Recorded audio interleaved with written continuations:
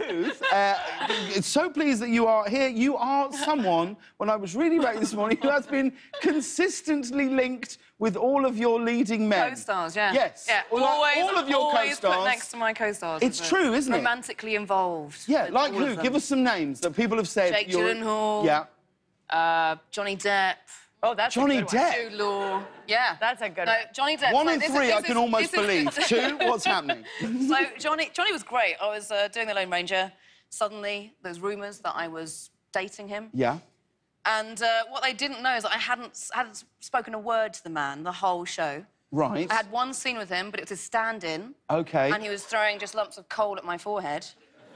So that was it. It wasn't Johnny at all. It was just a stand-in. I didn't get to speak to the man at all, but yet... But it was on I the cover of a magazine, yeah, and right? I, I printed... I thought, I'm going to keep this and put it in my, in my bathroom and put a it on my card. wall because there's no... It's brilliant. Yeah, it, that was fantastic. Who would you most like to be romantically linked with, Billy? John Goodman. Yes. Oh, yeah, that's a good one.